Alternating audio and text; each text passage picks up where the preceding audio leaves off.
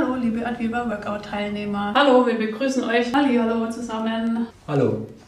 Heute machen wir was ganz Spezielles. Heute wieder mit Volker und mir. Heute mit Matthias.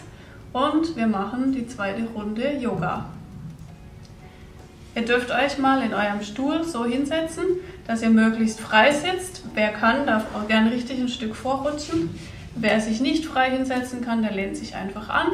Und um anzukommen und ein Gefühl für euren Körper zu bekommen, schließt ihr jetzt mal die Augen und wandert gedanklich durch euren Körper, überprüft eure Sitzposition, was ihr spüren könnt und atmet dabei durch die Nase tief ein und aus.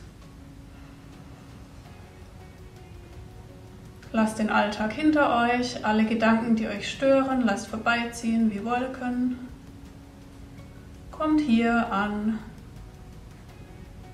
fühlt eure Sitzbeine, eure Wirbelsäule, ob die aufgerichtet ist oder nicht. Und fühlt, wo euer Atem überall hinströmt. Und wie schon mal erwähnt, beim Yoga immer nur durch die Nase ein- und ausatmen.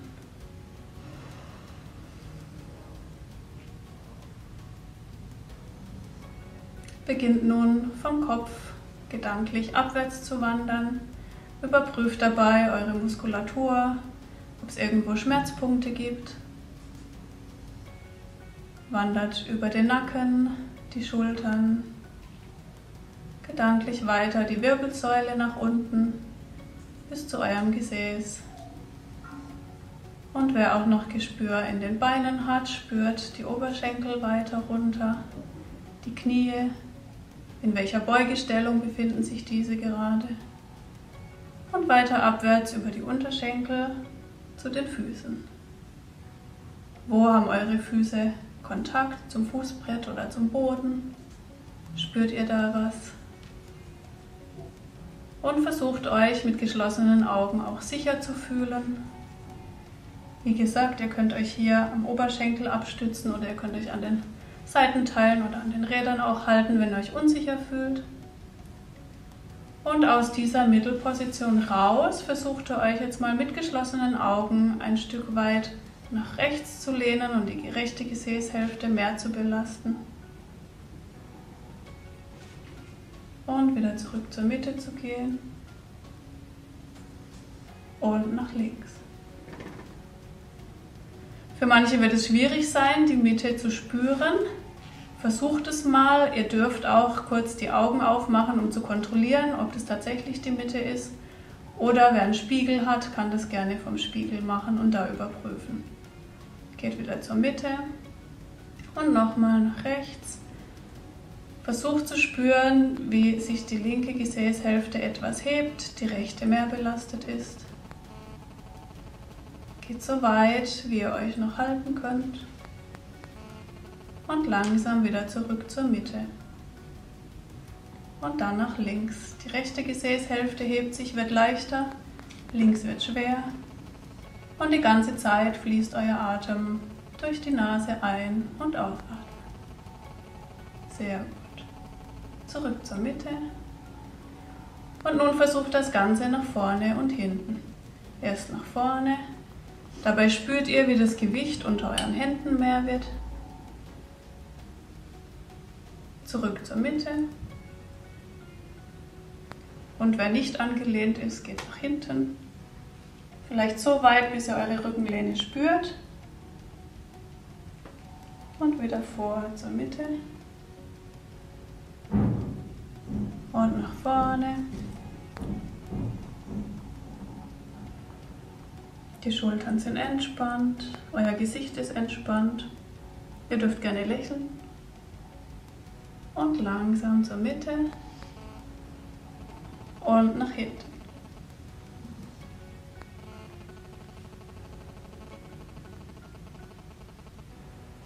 Zur Mitte.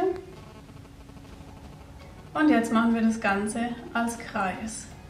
Wir gehen nach rechts, nach vorne, nach links, nach hinten. Jeder im eigenen Tempo. Wer möchte, darf die Augen auch wieder öffnen. Und atmet schön gleichmäßig.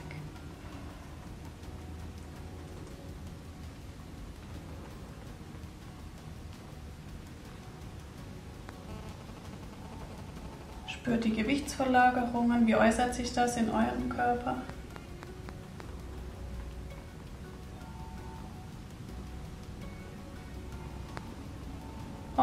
Dann wechseln wir die Richtung. Wir gehen nach links, nach vorne, nach rechts, nach hinten und noch zweimal.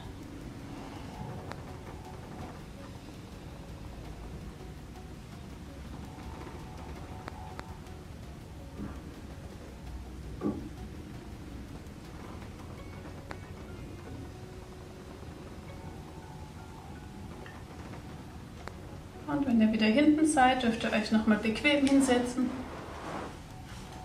Die Hände ausschütteln, die Augen öffnen. Sehr schön. Als nächstes möchte ich mit euch eine Atemübung machen, die Anuloma Viloma, die Erleuchtung des Schädels. Das ist eine reinigende Atemübung, die sich auch sehr gut eignet, wenn man jetzt eine zu in der Nase hat von den Pollen oder von der Erkältung. Und dafür müsst ihr erstmal die Handhaltung üben. Und zwar bleiben der kleine Finger und der Ringfinger gestreckt und der Mittelfinger und der Zeigefinger sind gebeugt und der Daumen schließt an die Hand. Macht das mal mit der rechten Hand. Und dann dürft ihr mal euer rechtes Nasenloch mit dem rechten Daumen verschließen und atmet vier Sekunden nur mit dem linken Nasenloch ein dann haltet ihr vier Sekunden die Luft an, verschließt dabei mit dem linken, das linke Nasenloch mit dem Ringfinger und atmet vier Sekunden aus. Dann atmet ihr wieder vier Sekunden ein. Luft anhalten, dabei Finger wechseln und vier Sekunden ausatmen. Wieder einatmen durch das linke Nasenloch. Halten und durchs rechte ausatmen. Und rechts wieder einatmen. Atem halten. Rechts verschließen, links ausatmen. Und kurz Pause. Wir haben das jetzt immer mit vier Sekunden gemacht. Ihr atmet vier Sekunden ein, füllt dabei ungefähr die Lunge zu drei Viertel. Dann haltet ihr den Atem vier Sekunden und dann haben wir vier Sekunden ausgeatmet. Jetzt wollen wir das steigern in einem Rhythmus von 4 zu 4 zu 8. Das heißt, ihr atmet vier Sekunden ein, haltet vier Sekunden und atmet acht Sekunden aus. Die Übung ist am wirkungsvollsten, wenn ihr mindestens drei Durchgänge macht pro Nasenloch. Wichtig ist auch, dass ihr den Unterarm gerade haltet. Und dann beginnen wir wieder. Ihr verschließt mit dem Daumen das rechte Nasenloch und atmet vier Sekunden durch links ein. Luft vier Sekunden halten. Und jetzt acht Sekunden durchs rechte Nasenloch ausatmen durch rechts wieder 4 Sekunden einatmen. 4 Sekunden halten. Links 8 Sekunden ausatmen. Links 4 Sekunden einatmen. Halten. Rechts 8 Sekunden ausatmen. Rechts 4 Sekunden einatmen. Halten. Links 8 Sekunden ausatmen. Links 4 Sekunden einatmen. Halten. Rechts 8 Sekunden ausatmen.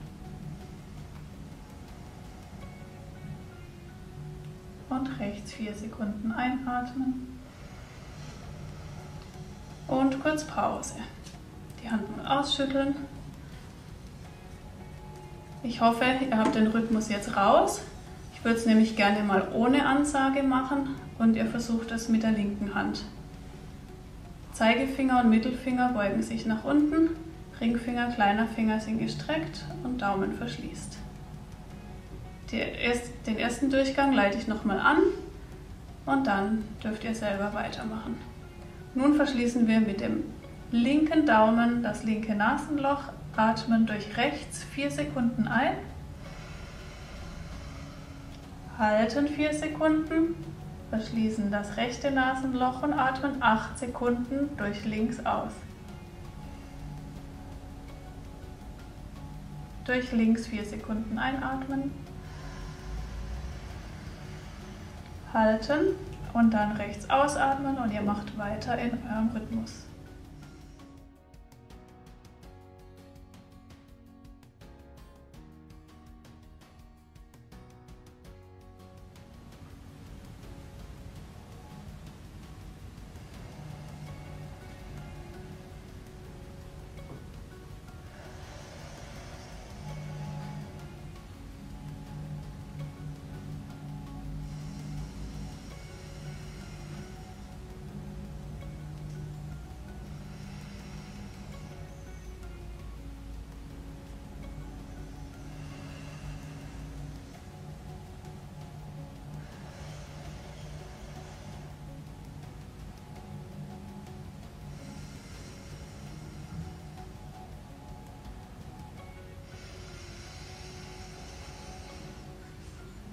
Noch ein Durchgang.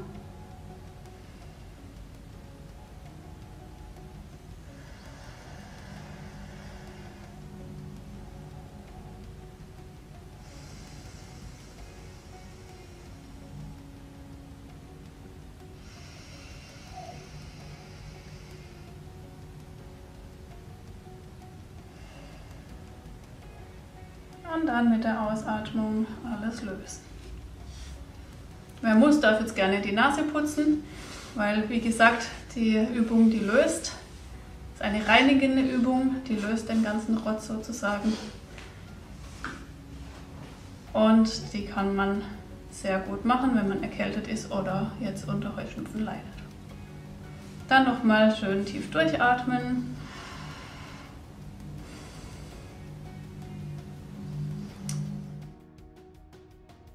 Nehmen wir den Ball nochmal nach vorne, drücken ihn ganz fest zusammen und drehen uns jetzt nach rechts. Und wir drücken, drücken, drücken. Atmen, sind aufrecht, Schultern sind entspannt. Wir gehen zur Mitte und drücken immer noch und nach links. Kopf dreht mit, soweit er kann. Wir gehen zurück zur Mitte, drücken und nach rechts. Zur Mitte nach links. Zur Mitte, nach rechts. Zur Mitte, nach links. Zur Mitte, nach rechts. Zur Mitte. Jede Seite noch einmal. Links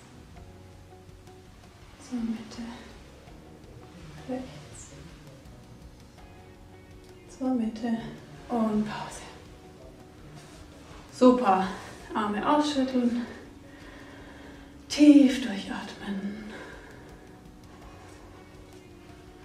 Und das Ganze nochmal. Vielleicht mit etwas Verstärkung. Zusammendrücke, nach links, halten und 5 cm mehr und zurück. Nach rechts. Halten 5 cm mehr und zurück zur Mitte. Nach links. Halten 5 cm mehr und zurück nach rechts. Halten, 5 cm mehr und zurück. Noch einmal, nach links,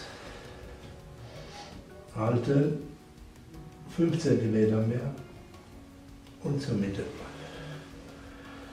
Nach rechts, halten, 5 cm mehr und zurück zur Mitte. Und entspannen.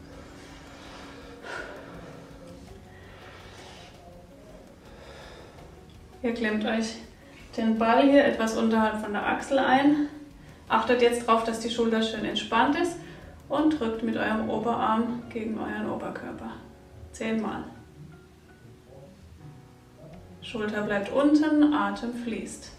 Volker zählt. 5, 6, 7, 8, 9, 10. Und die Seite wechseln.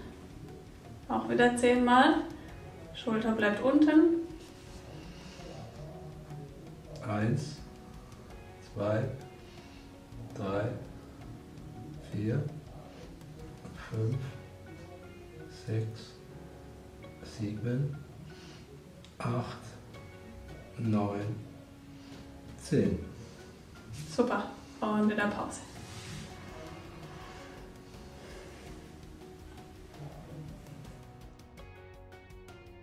Volker hatte beim letzten Training die Idee, dass wir ja mal was für die Amputierten machen könnten. Und deswegen freue ich mich heute ganz arg mit Volker und Christine Übungen für Amputierte mitzumachen. Dann nehmen wir die Arme nach vorne und machen drei Stufen, immer leicht nach oben.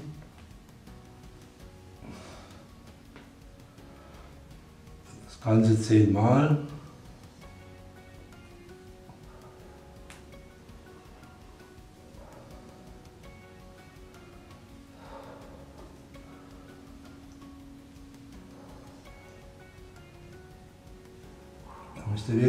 Achten, dass ihr die Ellenbogen leicht nach oben nimmt.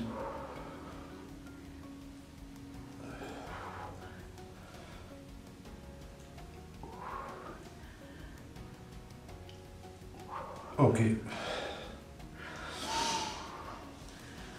Dann Ah, this one.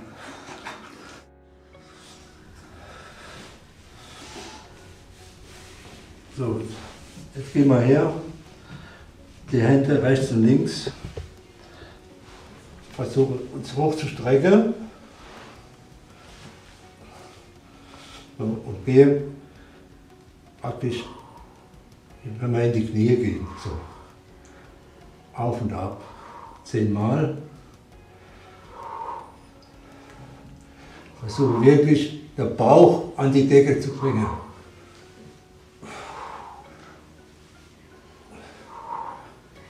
It's harder. This one. Oh. Und stopp.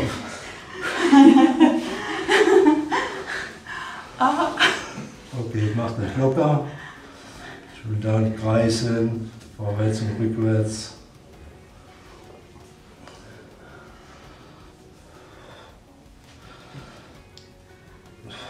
So, das Ganze noch einmal. No. So. Bauch nach oben. Und eins, zwei, drei, vier, fünf, sechs, sieben, acht, neun und zehn. Und Pause.